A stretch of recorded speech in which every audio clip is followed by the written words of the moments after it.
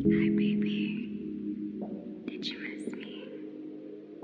I know you did. I'm sorry. It's just the work at the hospital gets so rough sometimes.